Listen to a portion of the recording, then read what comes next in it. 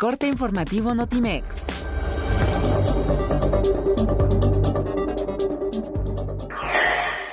El Banco de México elevó su pronóstico de crecimiento de la economía mexicana en 2017 a un intervalo de 1.5 y 2.5%, tras cinco trimestres de ajuste a la baja, y lo ubicó en línea con la reciente estimación ajustada de la Secretaría de Hacienda.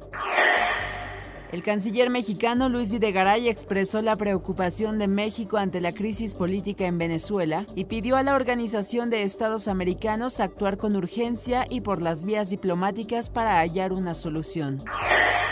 Una zona de inestabilidad en el Pacífico que tiene 90% de probabilidad de desarrollo ciclónico ocasionará tormentas fuertes en 21 estados del país, las cuales serán de mayor intensidad en Guerrero y Oaxaca, alertó el Servicio Meteorológico Nacional. El gobierno de Venezuela informó que aplicó una devaluación de 63.8% de la moneda nacional tras un proceso de subastas que determinó un nuevo tipo de cambio complementario.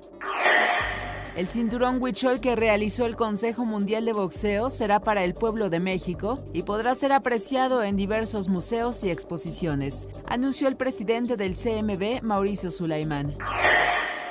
El cantante Bruno Mars visitará México para presentar su gira The 24K Magic World Tour en Monterrey el 31 de enero de 2018, así como la Ciudad de México el 2 y 3 de febrero y el día 5 en Guadalajara.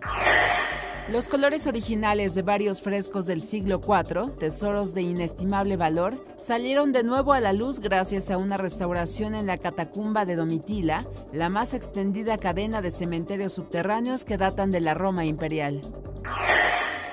Notimex, comunicación global.